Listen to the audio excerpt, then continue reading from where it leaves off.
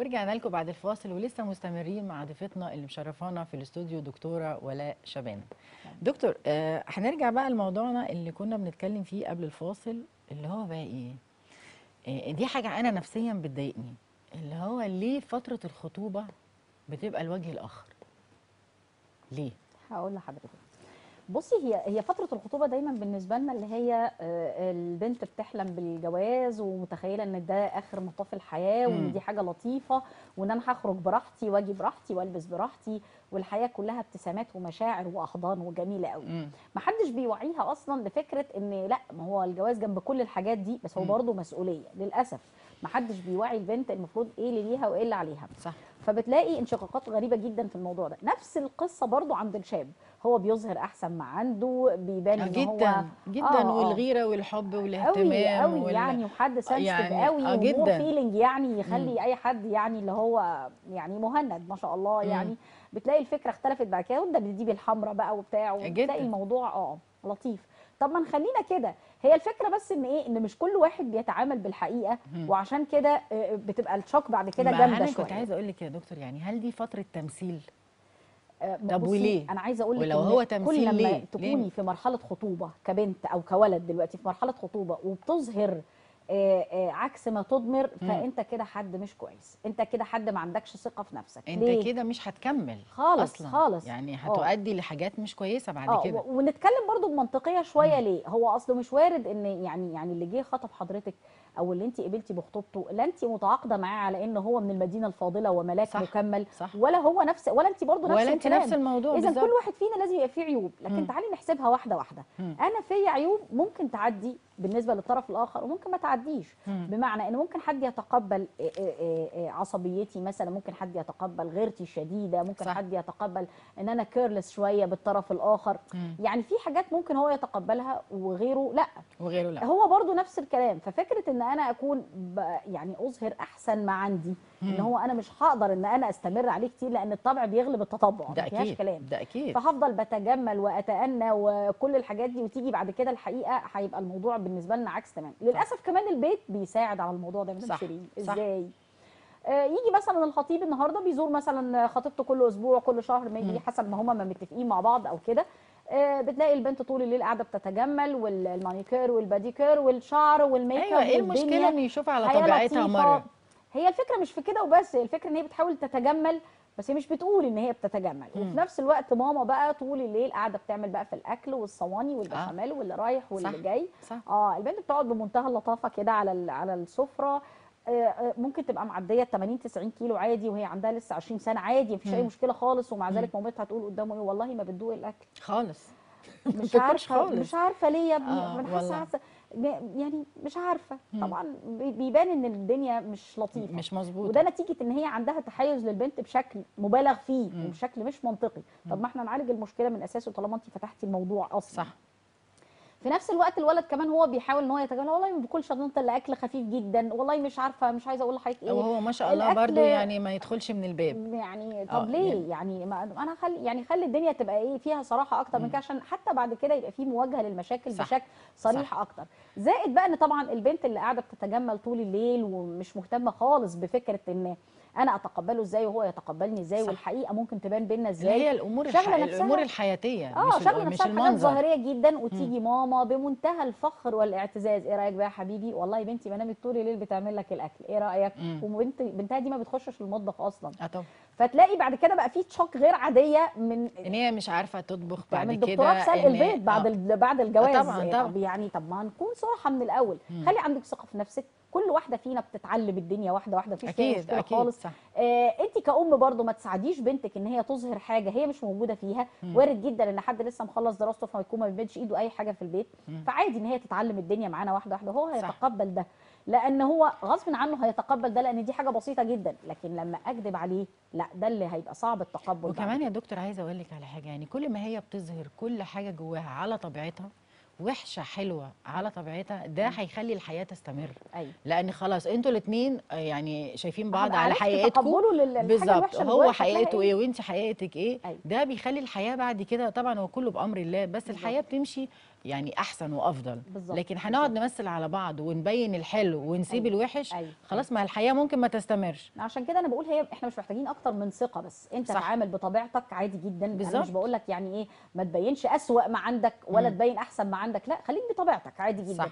عشان آه، يعني ميبي إن يكون عندك خطأ هي ما تتقبلوش مم. فلما ما تتقبلوش من دلوقتي ما تقولش إن أحسن إيه لما اصل أنا بخاف أبين عيوبي لأحسن تسيبني طب ما هي لما تسيبك بالعكس. دلوقتي أحسن لما تسيبك وأنت. متجوز ومخلف ما هي فترة الخطوبة دي و- علشان زي ما بقول لك إيه تعارف أيوه بالظبط يعني بالظبط. نعرف بعض براحتنا جدا مساوئنا عيوبنا مميزاتنا كل حاجة حلوة. فينا وحشه فينا لكن بعد الجواز بتظهر حاجات تانية خالص أيوه فبيؤدي إلى الفشل والانفصال ده حقيقي هي عشان كده الحقيقة وزارة التضامن الحقيقة عملت فكرة آه، مبادرة مودة دي دي كانت رائعة جدا.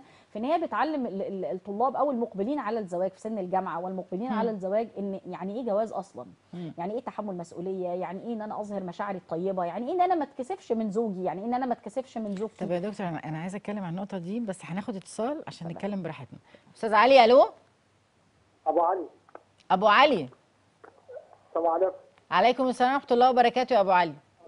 ممكن اكلم الدكتوره؟ آه اتفضل دكتوره ولاء معاك. مع حضرتك. أنا أنا دلوقتي متجوز بقالي 19 سنة. ألو؟ اتفضل أنا معاك. اتفضل. أنا متجوز بقالي 19 سنة. امم ومعايا ثلاث أولاد م- ولد في الثانويه في ثالثه ثانوي. امم ومعايا ومعايا بنت في الإعدادية وبنت لسه في في الابتدائية. تمام. ماشي ودايما في مشاكل زوجتي دايما إيه؟ في مشاكل. في مشاكل بينك وبين زوجتك؟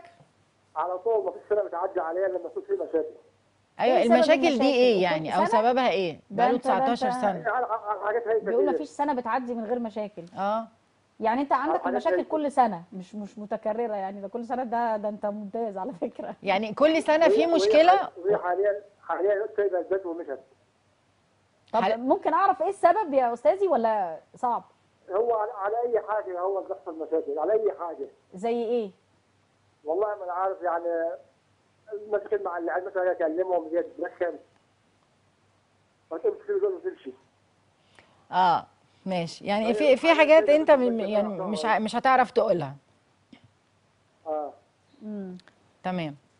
طيب هي المشاكل دي بادئة معاك من أول سنة يا أستاذي ولا ولا بعد إيه بعد قد إيه بدأت المشاكل دي؟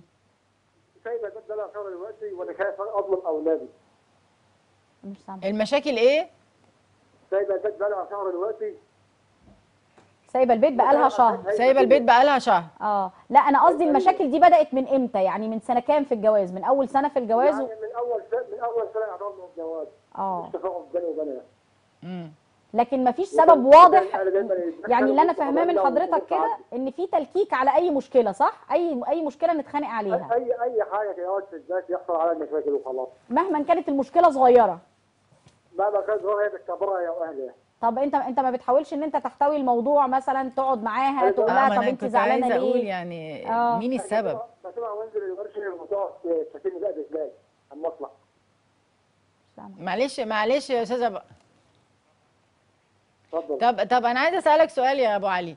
هو هو أنت دلوقتي عارف يعني هي السبب في الموضوع ولا أنت؟ يعني ب... بصراحة كده بصراحة يعني.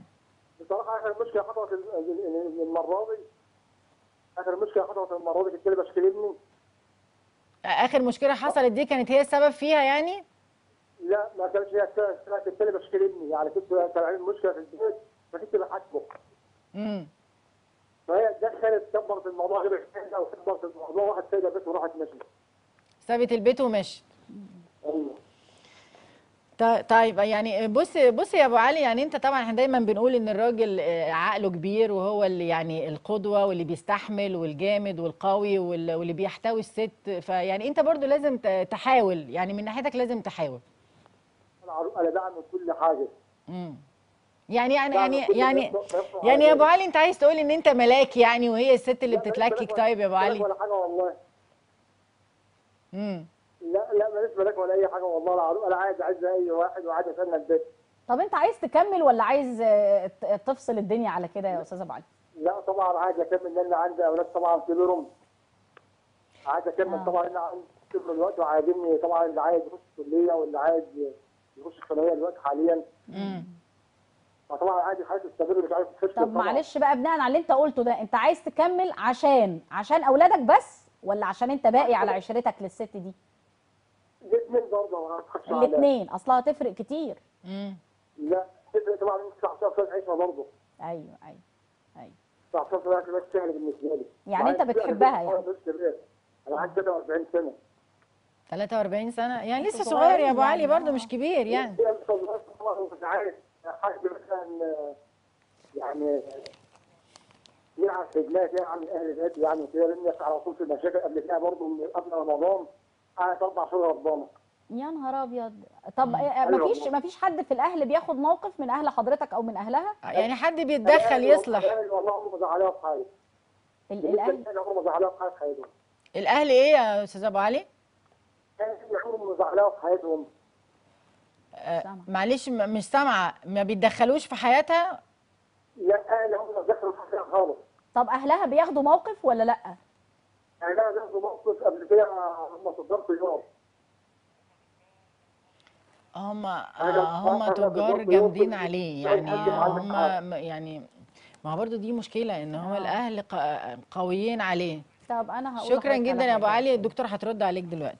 خلي بالك يا دكتور برضه دي, دي نقطة مهمة جدا مم. إن الزوج بيبقى باقي على الزوجة إحنا برضه يعني إحنا بنتكلم يا جماعة إحنا محايدين إحنا. لا مع ولا ضد يعني يعني مش يعني إحنا يعني بنعرض مشاكل تخص ال- ال- ال- الحياة عموما الزوجية يعني بس برضه الست ف- تبقى فاهمة برضه آه المشكلة هي جاية منين هي آه. الست لازم تبقى واعية شوية أيوة. مش معنى إن أنا أهلي جامدين أو أتقوى أو بيهم آه، أو يعني اتقوى بيهم، بيهم آه. واخرب بيتي واجي أيوة. على الراجل اللي مستحملني وفاتح بيتي وعندي أولاد ثلاث أولاد في مراحل سنين عمرية مختلفة فهو الراجل أنا مش هقول إن هو صح 100% ولا هي غلط 100% طيب. في نقطة خلينا نعمل آه، توازن آه، بس. بالظبط. يعني في نقطة. مفقودة فإحنا هنتكلم في العموم. تمام. هو هو ما فيش حد فينا بيغلط وهو عارف إنه غلطان. يعني مم. خلينا متفقين على كده. ما حدش فينا بيعمل غلط وهو عارف إنه غلط. مم. أكيد أنا لو عارفة إن أنا غلط مش هعمله. صح. في الحالة دي ربنا سبحانه وتعالى قال حكم من أهلها وحكم من اهله خلاص؟ دي, بالظبط. دي كده القصة منتهية. لكن إحنا اختيارنا بقى للحكم ده غلط. صح. عمر ما الحكم ده المقصود بيه نظلي. مم. وأنا أعني شخصية نظلي. اللي هي الحما اللي بتتدخل التدخل السافر اللي. بيقول لأ ده أنا جوزك ست سيدي دي الشقه. من حق الزوج. يعني الحاجات اللي كتير بنسمعها دي والقانون هينصفك وده لا لا لا لا لا إحنا مش مع كده خالص إحنا مع الحاجة اللي تسعد المرأة ولكن بما يرضي الله لأن. أصل فكرة إن انت هتعملي حاجة ممكن تكون بتغضب ربنا أو بتغضب العادات والتقاليد المتوارثة بينا دي في. حد ذاتها عمرها ما هتبقى باعث السعاده بالنسبة لك. ده أكيد. يعني لأن محدش بيقدر يبني سعادته على تعاسة الآخرين ولا على الشر مهما بني على باطل فهو باطل. فهو باطل. فخليكي عارفة دايما إن كون إن انت بتاخدي حقك بالصح ربنا أكيد هينصفك وهيخليكي سعيدة. وده اللي أكيد. إحنا بندور لك عليه اللي هو إيه supply السعادة بالنسبة للست مصدر السعادة بالنسبة, للست. للست. فمصدر السعادة بالنسبة لك هو الاستقرار الزوج المحب الزوج المتفاهم آه ال ال الأسرة اللي انت قادرة ان انت تراعي ربنا فيها صح. بشكل صحيح لأن هي. دي برضه هتفرق معانا كتير جدا جدا مم. والأهم من كل ده إن لازم الأهل تبقى support للموضوع ده لازم الأهل مم. تبقى في ظهر الست فعلا في إن هي تفهم إيه الصح وإيه الغلط بس يا دكتور بدون ما اقطع كلامك برضو إن في أهل بتبقى support في الخير يعني بتبقى واقفة وقفة الخير إنها تحافظ على بيت بنتها ده بقى اللي أنا وفي هشرحه ناس ده اللي أنا هشرحه بتبقى داخلة خراب غلط. البيوت إن انت مثلا يعني انت عندك أنجلينا جولي مثلا آه. فانت هتتجوزيها مش عارف مين. طب ما في بيت وفي أولاد أيوة. وفي مسؤولية أيوة. فحرام بعد كل العشره دي كلها أحد يحصل كده أسباب فشلنا في التدخل في المشاكل هو إن إحنا ما بنحطش نفسنا في وضعية الطرف الآخر مم. يعني دايما أهل الزوج بيدافعوا عن الزوج وأهل الزوجة بيدافعوا عن الزوجة بس ماشي. ما حدش بيحط نفسه أو بيعكس نف... بيعكس الوضع بحيث إن هو يفهم. الحق إيه ما حدش بيبص يعني إن إحنا نشوف الطرف الآخر فربما فقعت عينيه الاثنتين ما حدش بيبص للنظرية دي صح. خالص خالص للأسف يعني فالفكرة ال- الخطأ بيجي من هنا إن. المفروض إن أنا أدور على حكم حكم عادل مش الحكم حكم ابدا عادل. المقصود بيه أب أو أم حكم لا، يعني. بيتصف بالحكمة والرزانة والعدالة الكافية اللي هو فير انف يقدر إن هو يقعد ما بينهم ويقول لا انت صح انت غلط حتى لو أنا هقول للغلط ان ان انت غلط وانت بنتي وانت صح وانت جوز بنتي لا دي دي ما فيهاش أي مشكلة خالص بالنسبة. خالص ولكن الاختيار الخاطئ لكبير البيت أو كبير العيلة أو الحكم اللي ربنا سبحانه وتعالى يقصده في القرآن الكريم إحنا للأسف فاقدينه فبيبقى التدخل بقى إيه خالتي وخالتك وعمته وعمتك وغالبا مع احترامي الشديد إحنا في ستات. أهو آه. ولكن غالبا بتبقى أحكام الستات منقوصة شوية في الحاجات صح، دي صح. فلازم فعلا يبقى الموضوع فيه رمانة ميزان صحيحة وده مش عيب اطلاقا إن يبقى. فعلا في راجل متدخل وست متدخلة في الموقف بحيث إن يبقى في إرضاء من كل الأطراف اللي ممكن أنا صح. فعلا كست ما أعرفش. إن أنا أتكلم فيها مع حد كبير عيلة. ممكن أقدر أتكلم مع أمي مع, مع- أختي مع بالظبط. حد كبير فعلا في العيلة بس بيتصف بصفة الحكمة. ما أقدرش أتكلمها مع راجل. يبقى اذا احقق ال- ال- المعادلة اللي ربنا سبحانه وتعالى قال عليها عشان الدنيا تمشي صح. أنا مش هفرح ابدا إن بنتي يتخرب بيتها. مش هفرح ابدا إن خالص، إن بيتمنى هي تبقى. مطلقة جنبي أو سايبة بيت جوزها وأولادها بالمنظر ده. مش هفرح ابدا لما ألاقي أولاد بنتي نفسهم يفشلوا في يوم من الأيام وأبقى أنا السبب إن أنا محتضن بنتي معايا. لا صح، لا.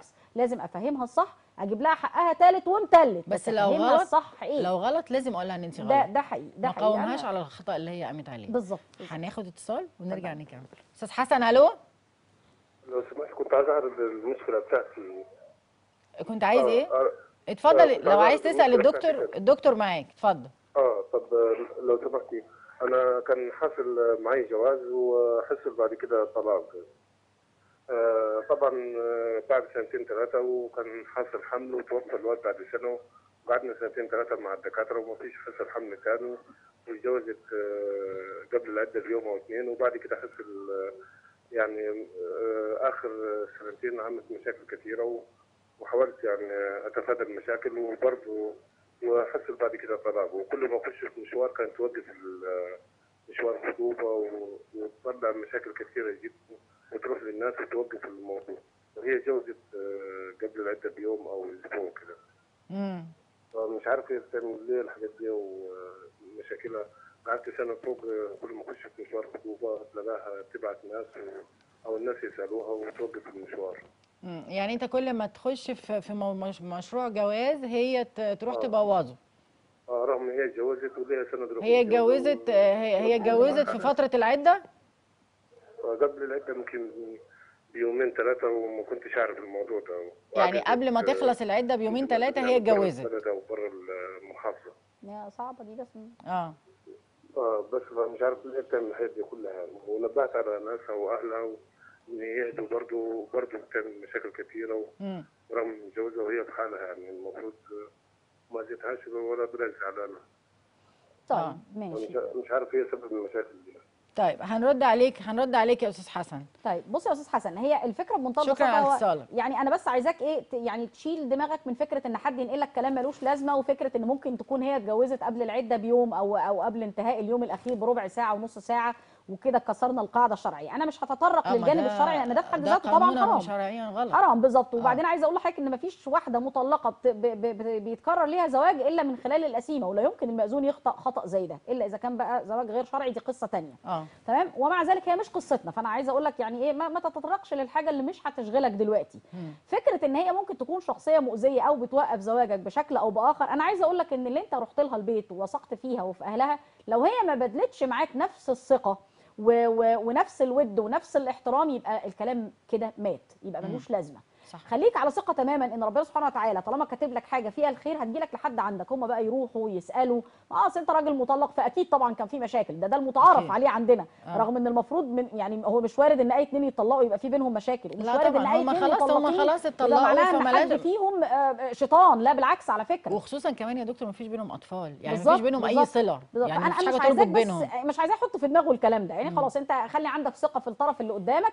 آه يا بنت الناس أنا الوضع بالنسبة لي واحد اتنين تلاتة مشاكلي عشان أبقى صريح واحد اتنين تلاتة أي حاجة ممكن تتقال من وراك تكون أنت آه، آه، آه، مبادر وسباق بيها الأول. والله هي تقبلت الوضع على هذا الأساس وسألوا وعرفوا الكلام اللي أنت بتقوله ده صح على هذا الأساس أهلا وسهلا ما, ما سألت ولقت إن الموضوع بشكل أو بآخر معلش هو كمان بيقول لك يا دكتور هي بتروح تعمل له مشاكل لا تروح يعني لا لا لا بتروح لا. بصي- وتتكلم بصي وبتاع. خلينا منطقيين آه. ما هو طبيعي أصلا اللي, اللي, اللي اللي مطلقين أو المنفصلين من بعض كده كده لازم تبقى لاقي تلاقي صفة عدائية ما بينهم هما ده. لازم ده رغم لازم. إن مش المفروض إن الدنيا تبقى كده وعشان كده. بقول لحضرتك هو مش وارد إن اتنين اتطلقوا يبقى معناها إن لازم يبقى فيهم حد ما يبقاش في. العداوة بالمنظر ده. يعني خلاص انفصلنا وكل واحد في حاله ما نقعدش لا كيمياء غير نتكلم متوافقة. يعني بالظبط. أنا أنا ما توافقتش مع مع شريك حياتي فخلاص إحنا سيبنا بعض بالاحترام. خلاص ما يعني الموضوع سهل. صح. ولكن للأسف هي الصفة السائدة بالنسبة لنا هنا إن لازم حد يطلع إبليس على قفا التاني. طبعاً. يعني بقى دي دي ده لازم. دي متعارف عليها بالنسبة ما لنا. حدش فيه يعني ما حدش بينفصل عن حد ويشكر فيه. لازم لازم, لازم يا هي وحشة قوي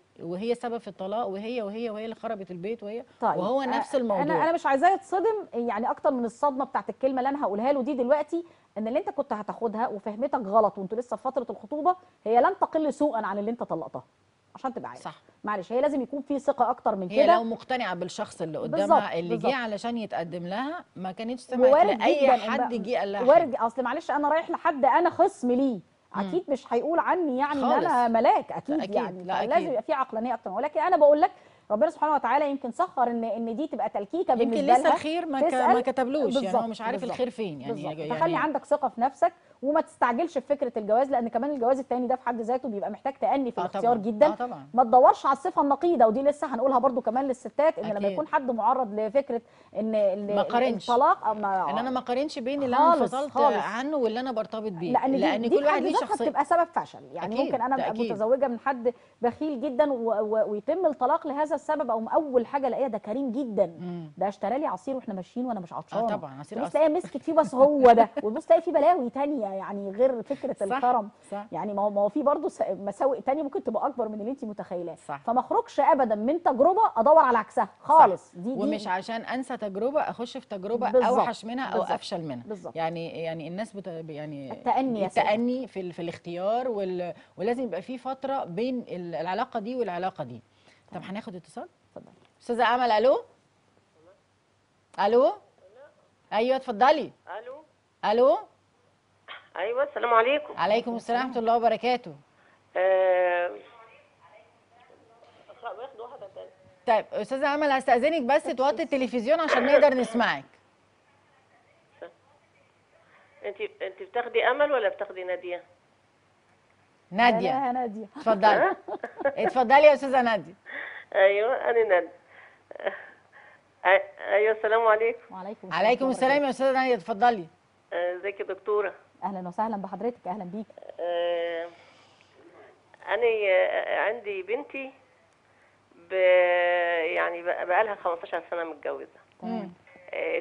في مشاكل من أول يوم جواز من أيام الخطوبة هو عصبي جدا جدا جدا. وإحنا بنحاول يعني إيه نلم في البيت وعشان الولاد وعشان الولاد وعشان الولاد وهي معاها تل- آه، ولدين وبنت وعمالين نستر ستر ستر. بنتشتم وبننهان وبنتسب وبن... وإحنا وهي كمان وبتمد ايده عليها وتنضرب وب... وجسمها بتقطع يعني. وبعدين في حصلت مشكلة كده كانت هي تعبانة عندها الكورونا دي اللي هي ماشية ديت وهو هو هي طبعا كانت معاه هناك في د- في دولة خليجية يعني في السعودية. فلما جت قعدنا بقى نقول لها يا بنتي طالما بتنهان هناك طبعا وما حناش جنبها هناك ولا حد داعمها هناك. وكده فالمهم إيه وبقى مرة تقول لنا وعشرة لأ ومرة تقول لنا وعشرة لأ. و- وساعات نعرف منه بقى يتصل علينا يشتمنا وانتوا ما ربتوش أنتوا ما عملتوش أنتوا أنتوا هوريكوا هربيكوا هربيكوا أنتوا حاجات كده إيه مستوى المشاكل يا حاجة نادية اللي بيوصلوا لكده؟ وحاجات والله العظيم يعني حاجات تافهة جدا زي إيه؟ ممكن. مثل بسيط بس كده عشان نعرف نبني الحكم صح. يعني عايزين نقيم الشخصية اللي اللي, آه. اللي بيتخانق على طول ده. يعني يعني مثلا آه، آه، يعني مثلا آه، كانت ما والدته مثلا قاعدة عنده. فبتقول له هي بترضع ابنها على صدرها فبتقول له طب هات لماما الدواء. يروح شايطها باللي بتاع انت بتتأمر عليا برجله وانت بتتأمر عليا. قالت له هو في حاجة ده هي لها دواء بعد في نص الأكل يعني. يعني ده ده أقل مثل. وهي- هنا ابنها كان تعبان فرحنا للدكتور. فالدكتور آه، قال لنا روحوا معمل تحاليل آه، يعني خدوا عينة. وهي في المواقف دي وقدام والدته اللي المفروض إن هي ربته وبعد كده اتصل بحضرتك وقال لك أنت كده ما ربيتيش. مم. لا آه, آه لا ده هو ما شافش ساعة تربية. حضرتك. نكمل بقى بعد ال واتبهدلت يعني. إيه ده؟ طيب. آه بعد ما انضربت واتهانت واتبهدلت يعني. ده دي آه. حاجات يعني. أنا مش لا، عارفة بصي- أقول لك بصي إيه حضرتك يا حاجة لأن نادية. الموال كتير هو يعني أنا بس عايزة أسأل 15 يعني سنة. يعني معلش يا حاجة هي- نادية هو أنا أنا أنا عندي أنا آخر حدث بقى ده في الكورونا ده آه آه، يعني إيه في في جروب كده إخواتها عاملين أنتوا فاكرين ال- المكان ده فاكرين الحتة دي فاكرين يعني group يعني بنات إخوات إخوات. مع بعضهم يعني آه group كده فاكرين إن كنا ما أعرفش بنجيب إيه في- من المكان ده ما أعرفش إن إحنا برضو البنات متربية هناك في السعودية يعني مم. وبعدين آه، فاكرين الحتة دي فاكرين الحتة دي. ففي حد داخل باسم بنت يعني واحدة ست يعني اكتفاء الحياة أو حاجة زي كده. فبتقول مين اللي كان عاي... ما أعرفش في مدارس إيه في ال... في, في السعودية وحاجات كده. فدخلت فقالت إحنا كنا في الحتة الفلانية مش عارفة كده. ف... فهو شاف اللي بتاع إن هو عامل زي ما يكون يعني مدياله ال- الباسورد بتاعها يدخل هو راخر يعني ويشوف. فقال لها لا ده انت داخلة معلقة الراجل ده دي راجل. قالت له لا ده مك- مكتوب اكتفاء الحياة. قال لها لا ده راجل ده صفاته ده أنا ده انت ده انت بنت 60 ده انت ده انت ده انت يا زانية يا بنت؟ حاجات كتيرة كتيرة كتيرة كتيرة أنا مش شكراً، أتكلم فيها وشتيمه شكراً. وحشة جدا جدا جدا يعني. أجيب المأذون وأجيلك إمتى يا حاجة نادية؟ أنا أنا تعبت لك سلف والله. العظيم حاجة يعني نادية. والله أنا مش قادرة مش قادرة والله العظيم بس أصل أنا بصي سمعت إحنا إحنا هنفترض هي هي رسالة حضرتك حكم وصلت حكم من أهلها وحكم عدلي. ده إحنا بالظبط يعني صح. إحنا كنا لسه بنتكلم في. النقطة دي مع مع, الدكتوره يا حاجة نادية. بس أنا عايزة أسأل حضرتك سؤال يا حاجة نادية. انت يعني بتقولي أنا يعني أنا لما يعني لما أرفع قضية عليه دلوقتي بالسب والقذف اللي هو ده آه،. قالوا لها وقالوا ليا. طبعا على التليفون بالفايز كده يعني وهي عيانة بصوته. هي عيانة لسه عندها مصابة كان بالفيروس عندها بكورونا آه كان مم. عندها كورونا وكانت محجوزه في بيتها لوحدها. وكنا إحنا بنودي لها يعني كده وعيالها كانوا معايا هنا في بيت مم. يعني و... و... وكنا بنودي لها يعني أكلها نحطه قدام الباب وكده وبتاع مش عارفة. إيه كده طب ف- طب طب حاجة نادية معلش ممكن أسألك سؤال بعد إذنك اتفضل هو دلوقتي حضرتك بتقولي إن الخلافات ال- ال- ال- العصبية والغلط والإهانة والحاجات دي من من ساعة الخطوبة طب آه. هي انتظرتوا كل السنين دي ليه لما اتجوزت وخلفت و- وبقى في بيت وأولاد وأسرة هيتغير هيتغير هيتغير هيتغير هيتغير والناس تقول لك هيتغير ده هو ده مش عارفة إيه وكلام من يا حاجة ناديه اللي فيه طبع ما بيتغيرش لا لا الطبع يغلب. خالص التطبع الطبع يغلب التطبع والله صحيح. صح صدقت يعني صحيح. والله بس الواحد فلازم لازم يعني نشوف إحنا- حد لازم. تشوفي حكم من إحنا إحنا كنا مشتركين في الغلط معاها صراحة يعني أنا مش عايزة أقول كده يا حاجة. نادية والله يعني أنا مقدرة. اللي حضرتك فيه إحنا بس إحنا بقينا مستحرمين يعني نقول لك إيه علشان العيال تجيب عيل ونقول عشان التاني طب عشان هت... كده. ما هو يا حاجة نادية يا حاجة نادية ما هو إحنا لما يعني؟ نشارك في الغلط ونقول علشان البيت والولاد وال... طبعا في الآخر بيؤدي لحاجات مش كويسة. صحيح. آه، يعني الست بتتعب نفسيا آه، ممكن تطلق ممكن تنفصل ممكن نخش في في ح- مسا... مساءلات قانونية. يعني الموضوع بيبقى حواجز آه، كمان. وكل ده بيأثر على الأولاد كمان. يعني انت بتدمري الأم وبتدمري الأطفال. أيوه ما- خلاص ال- الولاد الو- الولد الكبير عاد زيه بالظبط بيشتم وبيتخانق و... وانت فاشلة وانت ورغم انها كانت بت... هي اللي بتذاكر لاولادها وهي اللي بتعمل ولادها يعني وموديه ولادها ما شاء الله في الانترناشونال وهي اللي كانت بتذاكر لهم. وبعدين هي بتعمل ماجستير برضه في ال... في ال... هي واخدة علم نفس يعني ليسانس آداب علم نفس. يعني متعلمة وعارفة ودارسة وعارفة إيه اللي مريض نفسيا هو مش طبيعي وحاجة يعني صراحة فأنا قلت لها يا بنتي مش ينفع كده ممكن يخبط الخبطه ممكن تموتي فيها ممكن مش طبعا صحيح. طبعا. جبناها قعدناها هنا قعد- قعدت هنا يعني في البلد معانا وهو هناك في السعودية ما فيش فايدة مش سلمانة منه برضه من المشاتيمة وقله الأدب وعلى أتفه الاسباب وعلى أتفه حاجات ين- ينزل فيها شتيمة كده ما طيب. ما- أعرفش يعني حاجة لدرجة إنها عادت بتخاف وبتقول لك لما بسمع عنده حتى آه، أكيد. يعني ده لو شافت رقمه على التليفون ما. بتترعب ومش عايزة آه، ترد أكيد. ومش عايزة ترد طبعا. آه، حالة. نفسية. آه ما هي خلاص الموضوع بقى نفسي وعصبي وكل حاجة. بالظبط. إحنا عايزين بس تناول الموضوع يا جماعة يبقى بشكل آه. منطقي أكتر من أنا كده. يعني أنا أنا يعني- بشكرك يا حاجة نادية وتابعينا. هنناقش الموضوع مع دكتورة ولاء دلوقتي. شكرا على هو في اتصالك. حدود يا مدام شيرين. يعني هو في حدود آه، ربنا سبحانه وتعالى اداها لنا. أنا يعني مش فاهمة يعني إيه الجبروت؟ وجعلنا بينكم مودة ورحمة هي بالظبط. بقت فين بقى موده انتحرت في اللي أنا بشوفه هي مش. إيه ده؟ موجوده ما هو إيه اللي, ده؟ اللي بتحكي فيه الحاجة نادية دلوقتي ده يبقى كده لا في لا في موده ولا خالص في رحمة وبعدين معلش مع ولا في أخلاقيات ولا في أي دلوقتي حاجة يا حاجة نادية أنت جنيتي عليها هقول أنا عشان لحضرتك كده ليه سألتها هي بتقولي ان من أول الخطوبه وهو كده فقالت لك كل شوية يمكن هي يتغير ممكن يمكن تبقى يتغير صفات بسيطه بس يعني- بسيطة بس يعني ما معظم النار من مستصغر الشرر طبعا. يا دكتور ما هي من الأول صفات ما طالما ينفعش تعدلها بالظبط ما هي طالما من البداية عصبي وبيقل أدبه آه. لا شكرا أنا ما هينش بنتي. لا ولا هين ولا هين. عائلتي. أيوه يعني يعني ممكن يكون حد بيتعصب بس سهل الاحتواء. زي ما بالظبط. إحنا عندنا كتير بيقولوا إيه ده. بيتعصب بسرعة بيروق بسرعة ما هو بالظبط. بس ما العصبية في تعملي حدود. control بالظبط. ما انت. قدرتي تعملي control يبقى هو عنده ال ability إن الدنيا تتصلح واحدة واحدة. أو على بالظبط. الأقل هبقى عرفت إيه مفاتيح الشخصية دي اللي تخليه ما يوصلش لمرحلة العصبية دي. بالظبط. ده طبعا من باب الصراحة ومن باب ال ال الواقع والحقيقة والود والتفاهم والإحترام اللي ما بيننا. لكن إن أنا كسرت الحواجز اللي تخطط احترام زوجتي اللي هي أم أولادي يا بني آدم يا اللي مش واخد بالك انك مفيش بتربي أطفال.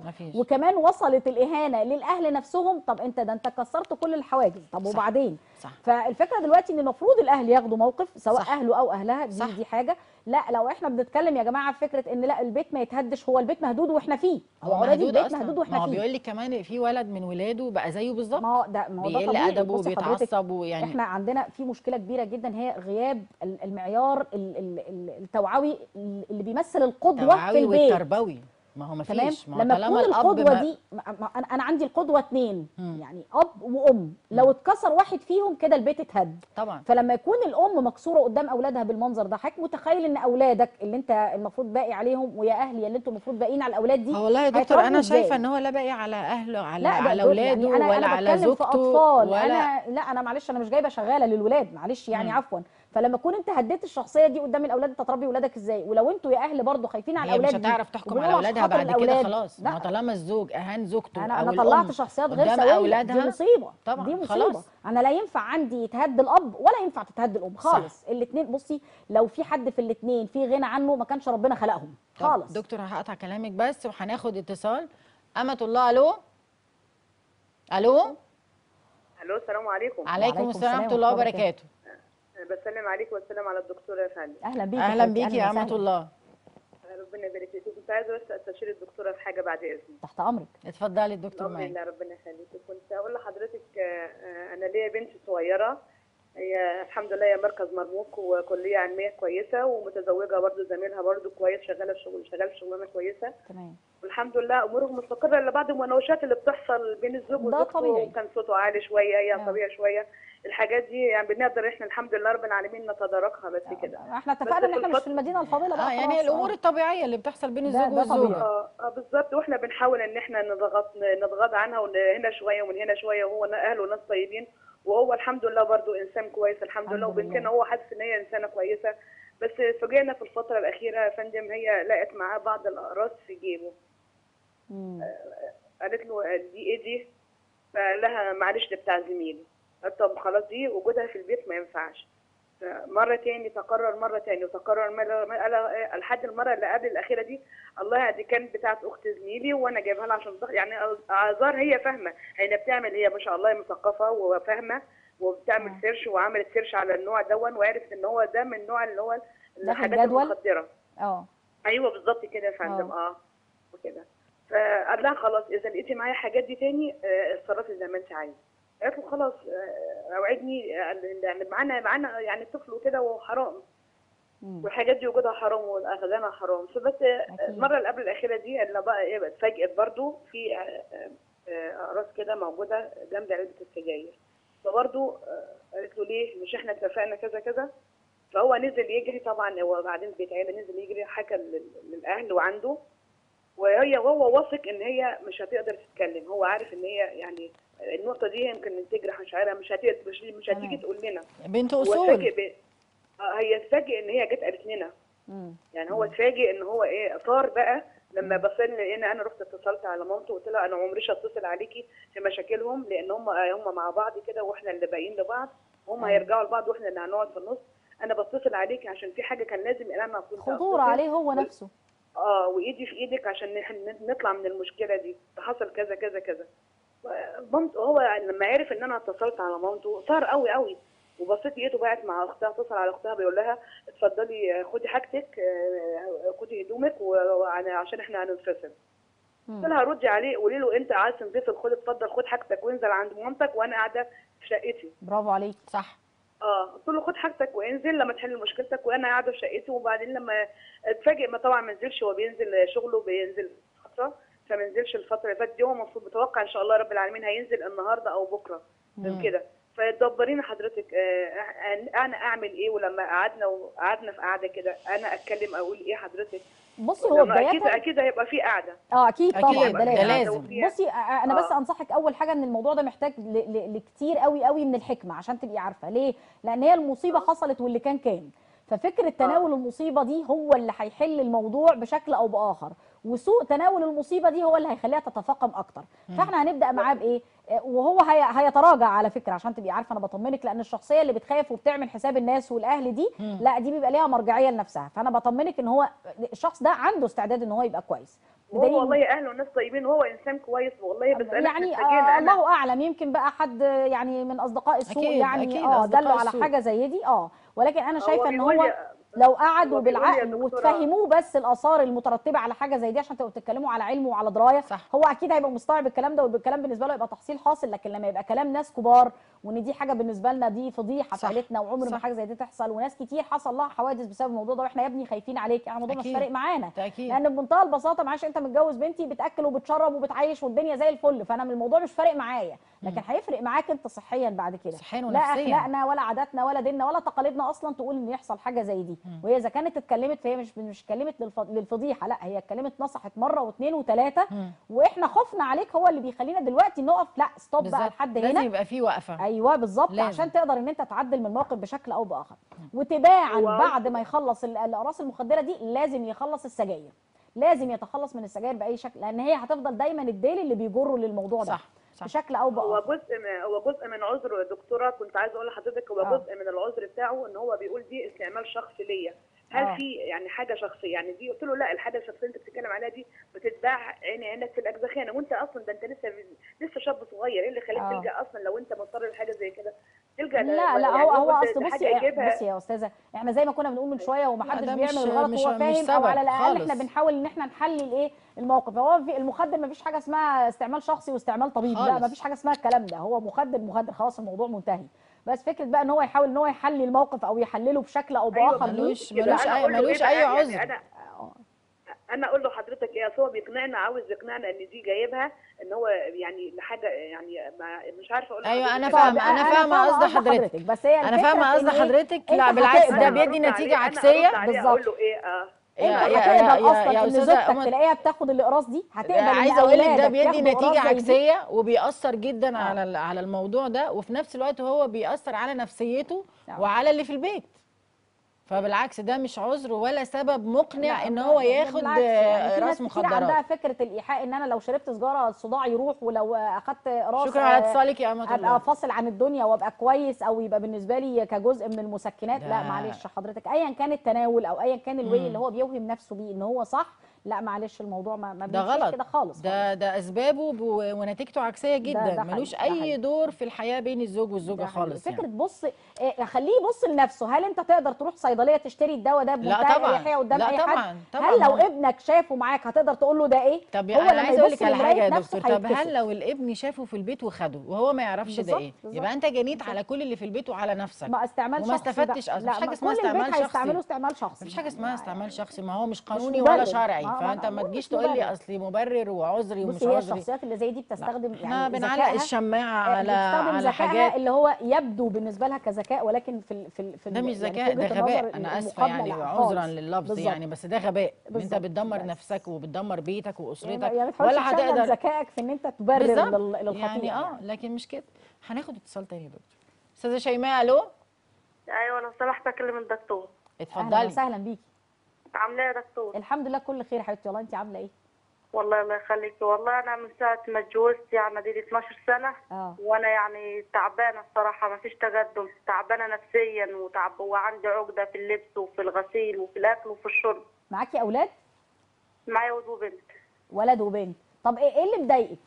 اللي مضايقني إن هو يعني وحش آه وحش ضرب وإهانة وشتيمة ويجي في الليل عايزني بعد ما يقتل ويضرب ويشتم عايزني أنا اللي أقوم أمثل دور الراجل يعني في في السهرة دي.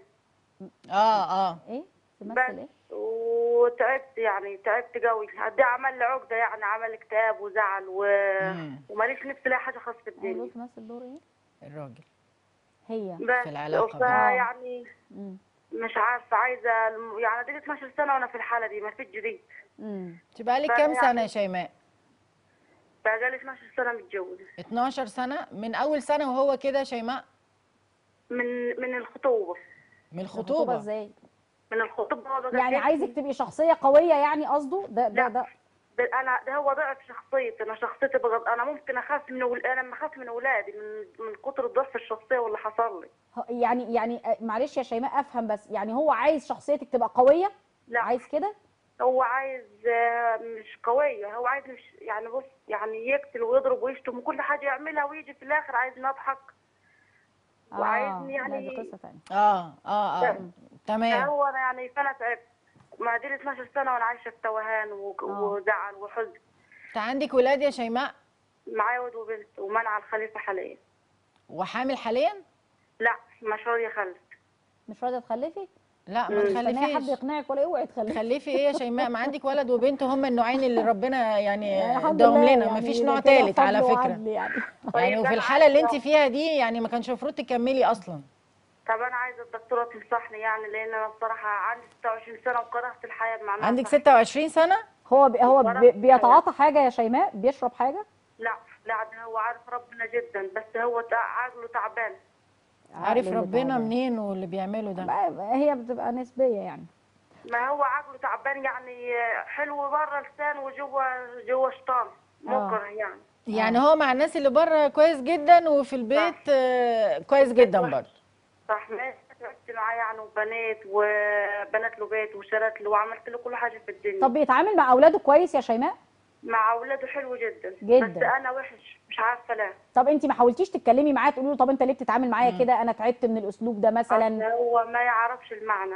من آدم ما يعرفش المعنى. فأنا أنا دلوقتي بدأت إن أنا عايزه ما يعرفش المعنى بس على الأقل هيعرف الإحساس. يعني اتكلمي ما- معاه. طب هل انت مقصرة في حاجة يا شيماء؟ يعني حاسة إن انت مقصرة في حاجة؟ في حاجة معينة يعني- بتضايقه بتضايقه منك فيها؟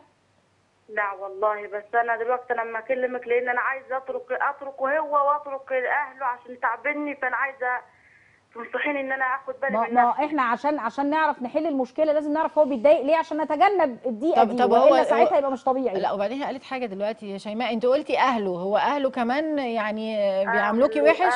أهله أذوني جوي وهو وهو وأهله أذوني يعني. أهله إيه؟ أهله اذوني جوي وهو برضه اذاني أهله كمان. أذوكي. آه. أيوة. أهله أذوكي.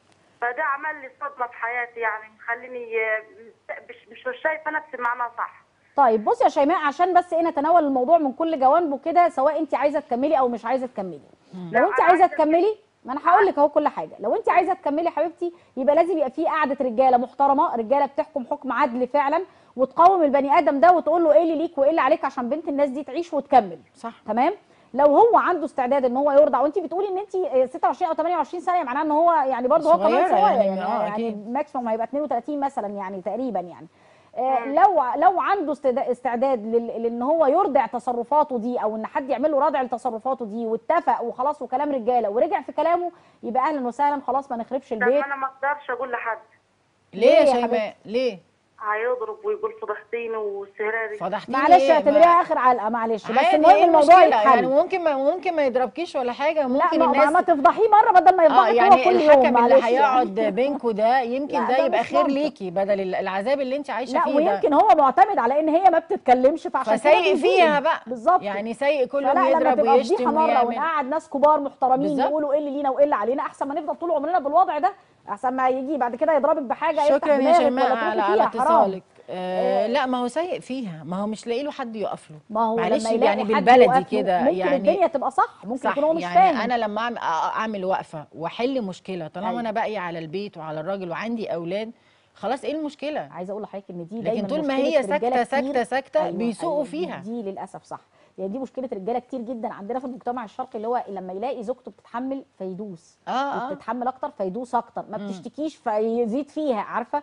فدي دي بالنسبة لنا كارثة دكتور ما بيفهموش إن السكوت ده يعني رضا آه واحترام احترام. حفاظ يعني على البيت أيوة، أيوة أيوة. إن هي شرياك في أولاد في ليه بيفهموه ضعف ليه بيفهموه لازم أجي لازم يعني- اكسرها يعني مش ولازم أجي عليها في الحتة دي قوي هنقول ان هم أنا مش أنا مش فاهمين. أنا أنا مش مش بعمم أنا آه. بقول إن في لا اللي هي النوعية رجالة. كده في نوعية كده مش مش هقول لك إن هم ظلمة هعتبر الجانب ال- الأحسن فيها إن هم. مش فاهمين فلما وقف حد فعلا فاهم ويقول له لا أنت ليك كذا وعليك كذا وده غلط وده صح وده حلال وده حرام خلاص يعني يعني هيرجع عن تصرفاتي دي والدنيا تتظبط بالنسبة له. إيه، لو حصل بقى غير كده بعد وقفة الأهل أو الناس الكبار يبقى ده بقى ده بقى حد مريض دي بقى قصة تانية. طب يعني إحنا يا دكتور كنا بنقول إن مرحلة الخطوبة ده الوجه الآخر. أيوه. طلع إن في ناس من مرحلة الخطوبة أو بداية الخطوبة وهو الوجه الصحيح موجود أيوة. ومع ذلك الست بتكمل والأهل بيكملوا ويقول لك أصل يمكن يتغير ما هي دي بقى ما كارثه هو مش. هيتغير بالظبط أنت. بتجني على بنتك أو ابنك يعني برضو الأسرة الأب والأم ليهم دور كبير جدا يا دكتور ده جدا حقيقي، ده حقيقي. أنا ما بقولكش افرض على ابنك أو بنتك تاخد مين وتتجوز مين وتعاشر مين لا بس بقول إن في في في يعني في خد وهات في زي ما رأي اتفقنا في أول الحلقة أنا ما اتفقتش في خطوبتي ليكي أو في خطوبتك ليا إن أنا حد ملاك مجنح ما فيش حد. ملاك إحنا. كلنا عندنا أنا عيوب وعندنا وحضرتك مميزات جواك عيوب بالظبط. والمميزات كده كده خلاص إحنا متفقين عليها نظهرها العيوب دي حضرتك ليكي إن انت تتقبليها أو ما تتقبليهاش. ما تتعامليش بمبدأ أصل هيتغير بعد الجواز لا اتعاملي إن هي موجودة خالص. وممكن تزيد ما هو خلاص ما وانت برضه. نفس الكلام يعني إحنا مش. هنظلم برضه الطرف الآخر. لا ما ما إحنا لسه بالظبط بقول يعني عشان خلينا دايما نتعامل على أسوأ الفروض إن لا هي مش هتتغير. هتعرف تتعامل يبقى كمل. مش هتعرفي تتعاملي يبقى, يبقى كفاية. خلاص كفاية. بالظبط لكن مش بدل ما, ما نيجي بعد كده. معلش يعني معلش يا مدام شيرين إحنا مش بنتكلم في طفل بنربيه. لا خالص. بنتكلم في راجل عاقل بالغ. آه خلاص. هو يعني آه maybe إن هو يغير من بعض العادات والتقاليد بالنسبة له. لكن مش هيبقى تغيير جذري. صح. يعني فاهمة إزاي؟ يعني ممكن مثلا عصبي هيحد من عصبيته لكن مم. مش هيبقى ملاك وديع. يعني خلينا برضو إيه أكيد. نبقى متفقين على كده. وبعدين لما يكون عصبي أثناء الخطوبة في الفترة اللي إحنا بنقول فيها إن دي أحسن حاجة أنت بتظهرها قدام الطرف الآخر. أمال بعد الجواز هيبقى الموضوع إزاي؟ لازم يبقى فيه كده بي question mark كده عندنا نسأل بيها نفسنا هو ثم أما بعد. and so what إيه اللي هيحصل بعد كده؟ صح. يعني دي دي في حد ذاتها سؤال مهم جدا جدا يطرح لي فكرة هل البني آدم اللي قدامي أو البني آدمة اللي قدامي دي عندهم استعداد إن هم فعلا يتغيروا في المستقبل ولا لأ؟ صح. هل في مواقف معينة بيني وبينها بتقول لأ إن دي حد بنت أصول وهو حد ابن أصول الثوابت دي مش هتتغير بالنسبة لنا ولا لأ؟ دي مهمة جدا جدا في بداية الخطوبة. صح. ناخد اتصال. ألو؟ الاتصال قفل. نكمل دكتور بس. طيب آه، آه، دكتور أنا عايزه أسأل سؤال. ال- الفرق السن بين الزوج والزوجة هل ليه آه، يعني هل في سن معين أو هل بيبقى ليه دور في نجاح العلاقة أو في في نجاح الحياة الزوجية بين الزوج والزوجة؟ ليه دور. كبير ولا هنقول مش عامل أساسي؟ لا بصي هو هو هو تفاوت نسبي. مم. بس هو يعني آه، علماء النفس أقروا بإن بإن المقياس بالنسبة لنا في الفرق ال- ال- العمري أو الزمني ما بين الراجل والست بيبقى فرق عقلي. بمعنى مع احترامي الشديد للسادة الرجالة بس فعلا فعلا عقلية اصل في الست ستات في ستات أكبر من آه الرجالة أنا مش أنا مش هتكلم وفي عاطفياً. رجالة أكبر من الستات بكتير إحنا بقى نقيسها إزاي إحنا هناخدها نسبة. وتناسب آه، آه. و... وتبقى؟ وبرضه خلي بالك كل قاعدة ليها شواذ يعني أكيد، يعني أكيد. بس إحنا بنتكلم في القاعدة العامة القاعدة مم. العامة بتقول إن عقلية الست اسبق من عقلية الراجل بخمس سنين مم. يعني عشان تجيبي عقلية اتنين تبقى زي بعض في حل مشكلة ما أو في تحمل مسؤولية ما فانت بتتكلمي في فرق خمس سنين يعني هي تحل نفس المشكلة مم. على نفس المستوى وعلى نفس الثقافة. وهي عندها 25 وهو عنده 30 معرفش يا دكتور أنا عندي اقتناع إن الست أذكى من الراجل لا هي هي أسبق عقليا؟ فعلا لا صح. هي أسبق لا لا, لا. وأعقل يعني ورزينة شوية آه. طبعا لكل قاعدة طبعا إيه يعني شواذ شواذ. بالظبط فأنا مش ب... يعني أنا بتكلم بس أنا دايما بحس إن الست أذكى أهدى أعقل طبعا في ستات مجانين يعني أنا بتكلم أهو عشان ما. تقولوش إن أنا متحيزة للستات وفي رجاله عاقلين جدا. فطب فرق لو في فرق بين الراجل والست 10 سنين لا هي بصي ما هي ما أنا عشان كده بقول لحضرتك هي مش لا، كتير، ما عارفة، إيه بس أنا- نسبياً. آه. بس دي بقى فروق فردية بنتكلم فيها في إيه إن ممكن حد مثلا يبقى هو يعني تخيلي مثلا أنت بتتعاملي مع حد وهو عنده 30 سنة أو 40 سنة وهو واحد آه، عايش طول حياته for fun كده وللخروج وللفسح وال perfume الفلاني والترند العلاني وال brand الفلاني تخيلي ده بقى لما انت تتعاملي معاه أصلا وهو في سن الخمسين هو هيبقى بنفس برضه ال sequence ماشي ال sequence ده فاهمة إزاي ما تقدريش ان انت تعممي الشخصية دي على بقية شخصيات الرجالة كلها لا لا, هو لا. ده آه، دي- مختلف دي حاجة بالنسبة الستات له والرجال. مختلفه آه بالظبط طيب. ففي الحالة دي هتلاقي ان هو متوافق متوافق جدا جدا حتى لو مع أصغر منه الست أصغر منه ب صح. 10 15 سنة كمان مم. يعني كشخصية أو كتوافق شخصي وعقلي ونفسي الدنيا ما فيش مشكلة فيها خالص هتفرق بقى في حاجات تانية فرق السن اللي هو الجاب الجامدة قوي دي هتفرق بعد كده سيكولوجيا عشان التغيرات الفسيولوجية اللي هنعاني منها قدام.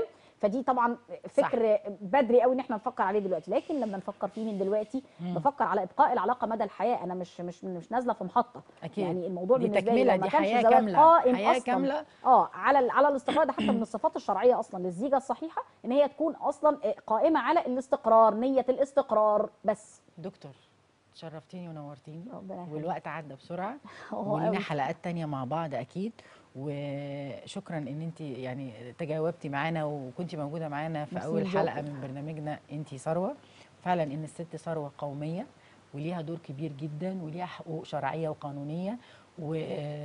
وإحنا محايدين لا مع الراجل ولا مع الست ولكن إحنا في برنامجنا بنناقش كل ما يخص عموما. والست لما تبقى عارفة المصرية. حقها ده ده نص والست ليها فعلا عارفة يعني. حقها آه، ده حقها فعلا. علينا وعلى وعلى كل الناس. آه بشكرك جدا دكتورة ولاء شبانه. استشاري الصحة النفسية. بشكركم مشاهدينا على حسن المتابعة وانتظرونا في حلقة جديدة من برنامجنا انتي ثروة. وبشكر كل زملائي في ال control والاستوديو والاستوديو بشكر كل القائمين على قناة الصحة والجمال. وبشكركم كنت معاكم شيرين شوقي.